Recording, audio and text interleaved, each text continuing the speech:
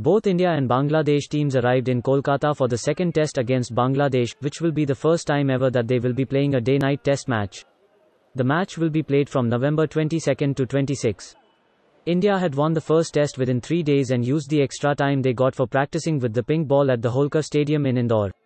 The teams were welcomed by sea of fans at the Netaji Subhas Chandra Bose International Airport, who were seen sporting pink t-shirts to celebrate the first pink test in India.